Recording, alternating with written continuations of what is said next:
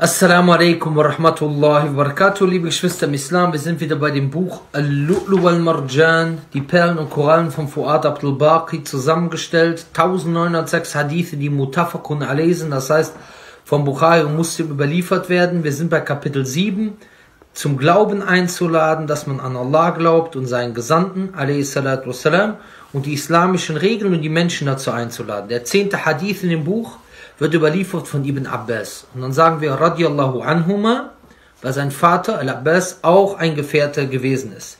Ibn Abbas war einer der ganz jungen Gefährten und hat insgesamt 1660 Hadithe überliefert, gehört zu den Gefährten, die die meisten Hadithe überliefert haben, zu einem der Gelehrten der Gefährten.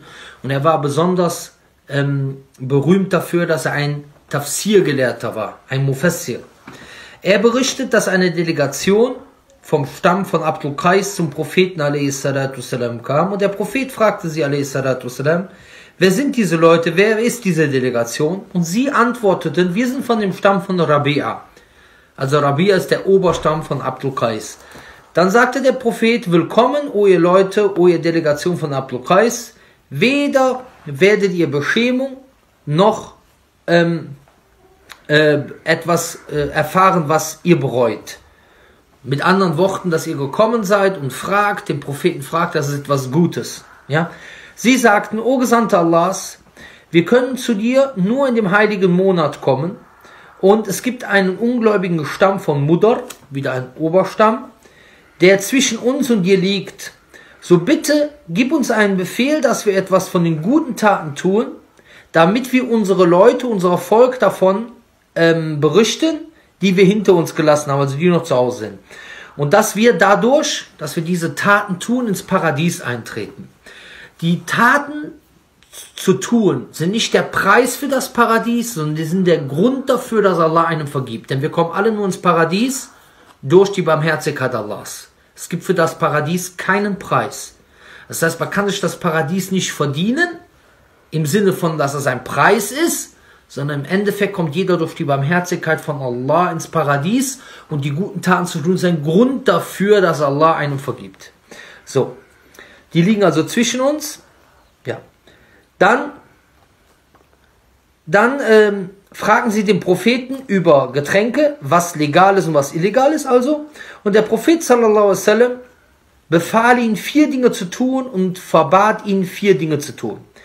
Er befahl ihnen an Allah zu glauben, alleine zu glauben und, und äh, befahl ihnen, wisst ihr, und, fragte sie, wisst ihr, was es bedeutet, an Allah alleine zu glauben? Da antworten sie, Allah und sein Gesandter wissen es am besten. Das ist ein gutes Benehmen mit dem Propheten wassalam. Und so ähnlich sollte man auch, wenn man mit Gelehrten redet, sollte man mit denen reden, dass man sich nicht in einem Gespräch so über sie stellt, sondern dass man Fragen stellt beispielsweise. Wenn man zum Beispiel denkt, der, der Gelehrte hat einen Fehler gemacht oder der Prediger hat einen Fehler gemacht, stellt man zum Beispiel eine Frage. Ähm, Entschuldigung, ähm, ich habe mal gehört, dass das so und so ist. Ja, als Beispiel. Auf jeden Fall. Sie antworten, Allah und sein Gesandter wissen am besten. Daraufhin sagte der Prophet, salam, dass man bezeugt, dass es keine Gottheit gibt außer Allah, dass niemand das Recht hat, angebetet zu werden außer Allah und dass Mohammed der Gesandte Allahs ist, dass man das Gebet verrichtet, die Zakah entrichtet, das Fasten im Ramadan verrichtet und dass man Al-Chumus bezahlt. Al-Chumus, das ist also ein Fünftel von der Kriegsbeute. Ja? Und er verbat ihnen vier Dinge. Und dann, damit ist gemeint Al-Hanta, Al-Duba, Al-Naqir, äh, dann Al-Muzaffat und Al-Mukir. Das sind Behälter, die für alkoholische Getränke benutzt werden. Und die Gelehrten sagen hier, dass damit gemeint ist, dass man das Getränk, also den Alkohol, selber damit meint. Also der Prophet äh, erwähnt diese Behälter, meint aber damit das Getränk selber. Allerdings ist es auch sehr häufig so im Islam, dass der Weg zum Haram schon verboten wird. Zum Beispiel Sinna ist Haram, Unzucht ist Haram und alles, was zum Haram führen kann oder eine Gefahr darstellt, dass es zu Sinna führt, ist auch Haram. Beispielsweise mit einer Frau allein in einem Raum zu sein. Okay. Der Prophet, ähm, ja, genau.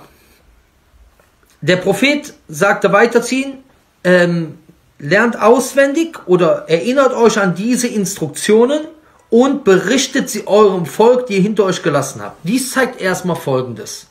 Dass sie mit wenig Wissen, mit wenig Information genau die Sachen weitergeben sollten, aber sie sollten sie vorauswendig lernen, Wissen an ihr Volk weitergeben. Und das ist eine Widerlegung von denen, die heutzutage sagen, Dauer könne nur derjenige machen, der ein intensives Studium abgelegt hat. Diese Leute zur damaligen Zeit, dieser Stamm, Lukais, konnten nicht viel vom Propheten mitnehmen.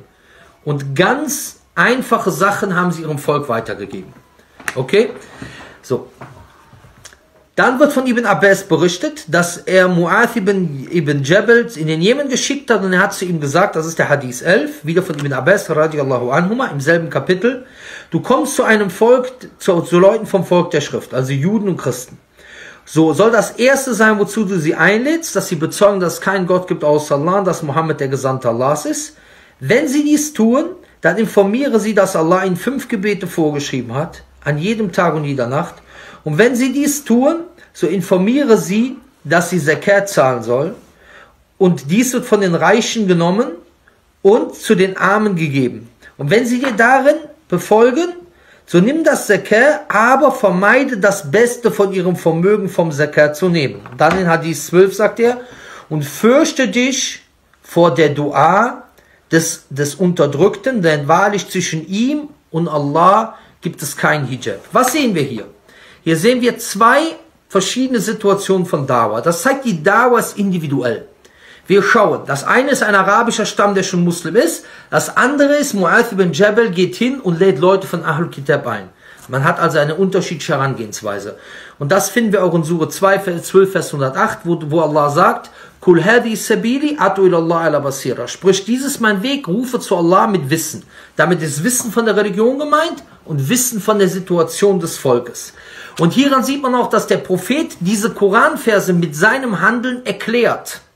Denn der Prophet zeigt dir, wie dieser Vers, Suche 12, Vers 108 zu, äh, zu, zu, ähm, zu verstehen ist. Ja, mit Wissen ist auch gemeint, je nachdem, mit wem ich rede, habe ich eine unterschiedliche Herangehensweise. Und das steht zum Beispiel in Surah 16, Vers 44, Wir haben zu dir, Muhammad, den Koran herabgesandt, damit du den Menschen klar machst, mit deinen Taten und mit deinen Worten, was zu ihnen herabgesandt worden ist. Und wir sehen in beiden Stellen aber ist der Tawhid, der Glaube an Allah allein und ihn alleine zu dienen, das, was als erster Stelle erwähnt, an erster Stelle erwähnt wird. Und das zeigt, dass das die Priorität ist und das Wichtigste ist. Dann sehen wir die stufenweise Herangehensweise beispielsweise mit den Ahlul Kitab.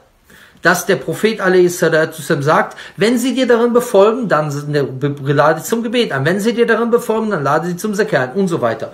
Und dann sehen wir am Ende etwas ganz Wichtiges. Und hüte dich vor der Dua dessen, dem Ungerecht, dem du Unrecht zugefügt hast, denn wahrlich zwischen ihm und Allah gibt es kein Hijab. Deswegen möge Allah uns davor bewahren, Leuten Unrecht zu tun und uns vergeben, wenn wir Unrecht getan haben und denen vergeben, denen wir Unrecht getan haben. Und das muss unsere größte Sorge sein, dass wir Leuten Unrecht tun. Möge Allah subhanahu wa ta'ala uns allen Ikhlas geben. Wie gesagt, das war der Hadith Nummer 10, 11 und 12 aus dem Buch Al-Lu'lu wal-Marjan. Assalamu alaikum wa rahmatullahi wa barakatuh.